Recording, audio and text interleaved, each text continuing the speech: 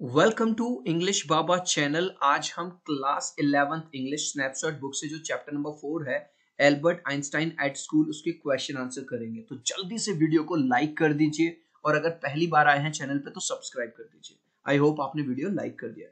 Question number one है what do you understand of Einstein nature from his conversation with his history teacher आपको क्या पता चलता है आइंस्टाइन के नेचर के बारे में जब वो बात करता है अपने हिस्ट्री टीचर से, जब वो बात करता है अपने मैथमेटिक्स टीचर से, और जो भी उसकी कॉन्वर्सेशन हुई हेड टीचर से। तो यानी क्वेश्चन को तीन पार्ट में हमसे पूछा गया है। आइंस्टाइन जो कि बचपन में ऐसे लगते थे, आपने ज़्यादातर ये वाली फ़ोटो देखी होगी equal to M C square ninth class में भी आपने चैप्टर पढ़ा होगा द ब्यूटिफुल माइंड है ना? तो सबसे पहले इसका आंसर देंगे। और आंसर देने से पहले आपको ये समझा दूँ, जो आइंस्टाइन थे उनकी टीचर के साथ झड़प होती रहती थी। और टीचर उनके साथ मतलब बार बार उन्हें ये कहते रहे तुम्हें कुछ नहीं आता, तुम पूरी क्लास को भी डिस्टर्ब करते हो, खुद भी नहीं पढ़ते हो। यहाँ तक कि जो उनके हेड टीचर थे, स्कूल के प्रिंसिपल जो थे, उन्होंने स्कूल से उन्हें निकाल भी दिया था। ठीक है? अब हम इस क्वेश्चन का आंसर देंगे। तो सबसे पहले एक इंट्रोडक्शन डालेंगे। क्या है इंट्रोडक्शन देखो, इस तरीके से अगर आप एग्ज़ाम में लिखे आओगे तो आपको हंड्रेड परसेंट पूरे मार्क्स मिलेंगे।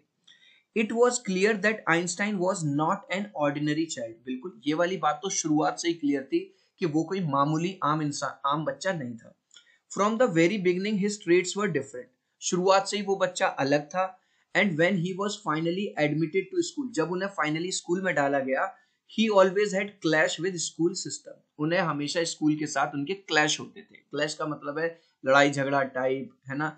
आर्ग्यूमेंट टाइप अब देखो इस क्वेश्चन को मैंने कैसे आंसर किया है? सबसे पहले मैंने हेडिंग डाला अंडरस्टैंडिंग यहीं से उठाया क्वेश्चन से। Understanding of Einstein nature of Einstein nature from his conversation with his history teacher मज़ा आ गया। क्वेश्चन में ही से ही आंसर उठाएँगे, ठीक है?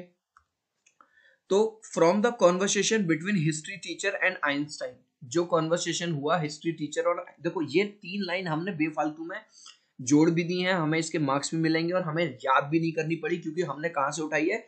डायरेक्ट हमने उठाई है क्वेश्चन में से। We come to know that Einstein is honest and truthful हमें क्या पता चलता है आइंस्टाइन ईमानदार भी है और सच्चा भी है। क्यों? क्योंकि वो झूठ नहीं बोलता हिस्ट्री टीचर से, वो मान लेता है ये वाली बात। क्या, कौन सी बात मान लेता है? He admits the fact that he can not learn the dates कि सर, मुझे डेट्स याद नहीं होती। मैं याद नहीं कर सकता, मैं रट्टा नहीं लगा सकता, वो मान लेता है। He expresses his thoughts without fear और जो भी उसके विचार होते हैं, उन्हें वो बिना डरे अपने टीचर के सामने रख देता है। कौन से विचार की, सर डेट याद करने से क्या होगा? Thus his basic intelligence and logical reasoning are highlighted देखो क्वेश्चन क्या है? क्वेश्चन से भटकना मत। क्वेश्चन ये पूछ रहा था कि आइंस्टाइन का नेचर बताओ कॉन्वर्सेशन के बेस पे। तो इस कॉन्वर्सेशन के बेस पे हमें पता चलता है उसकी इंटेलिजेंस का जो कि बिल्कुल लॉजिकल उसे भैया रट्टा लगाना ना आता, नहीं है। वो रट्टू तोता नहीं है, ठीक है? वो रीजनिंग वाली बात करता है लॉजिकल बात करता है, ठीक है? और ईमानदार है मान लेता है कि सर मुझे याद नहीं होता। अब देखो, दूसरा हेडिंग बिल्कुल वैसा ही डालेंगे।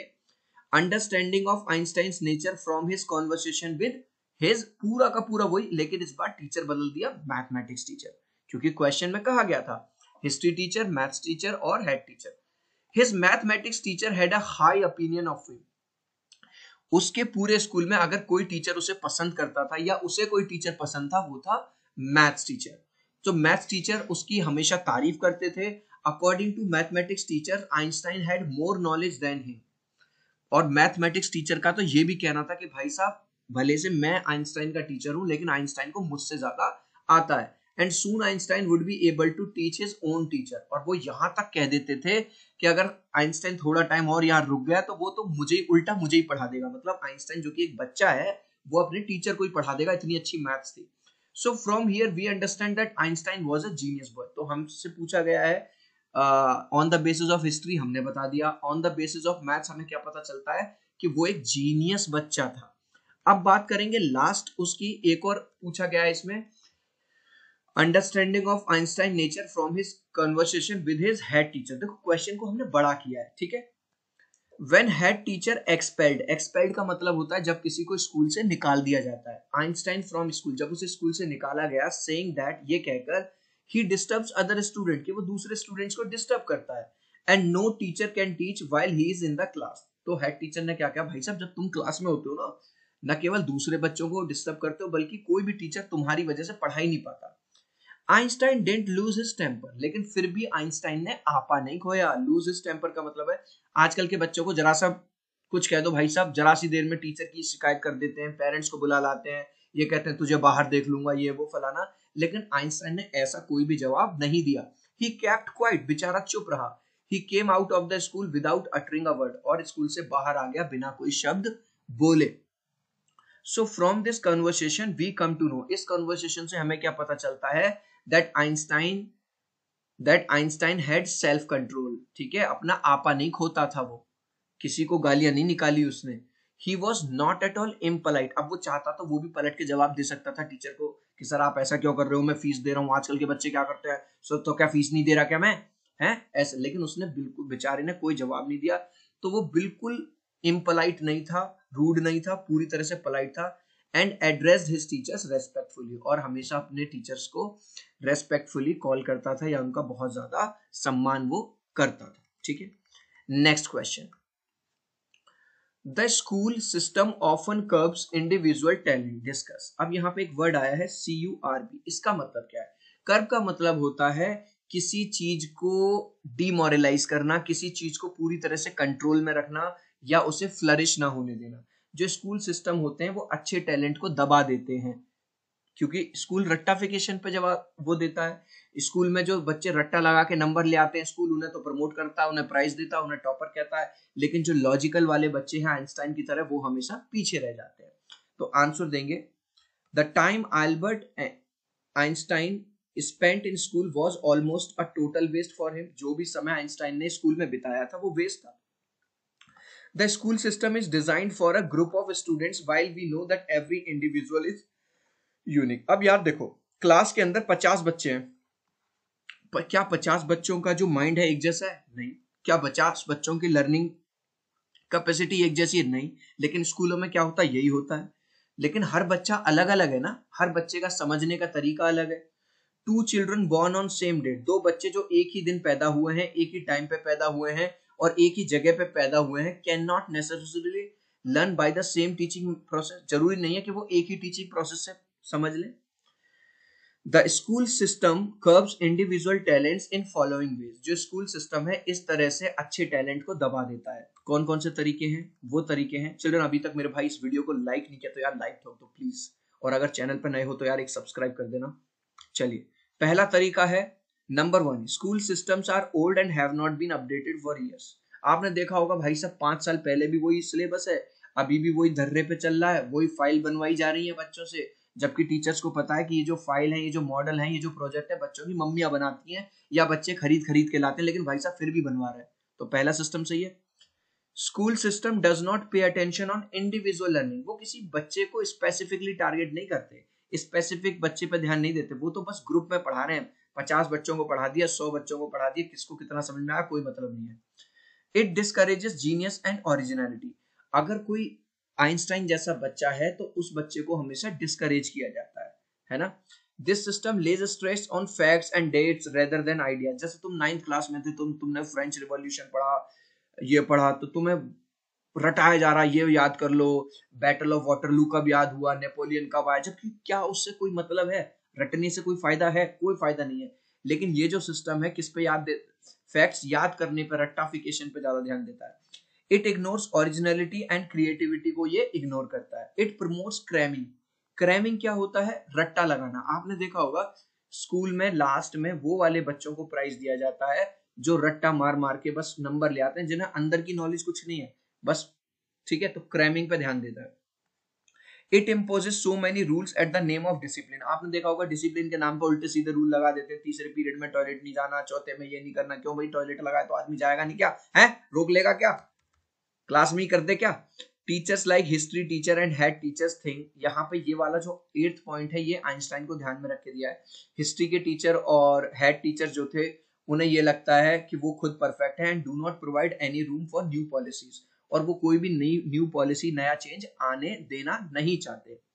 Next brilliant students like Einstein are consider dull जो ब्रिलियंट स्टूडेंट्स हैं, जो ओरिजिनल आइडियाज़ लेके आ रहे हैं, उन्हें तो बुद्धू समझा जाता है। While the students who learn and rote like parrot जो रटते हैं तोते की तरह, उन्हें समझा जाता है टॉपर्स तो ये सारी कमियाँ हैं, ठीक है?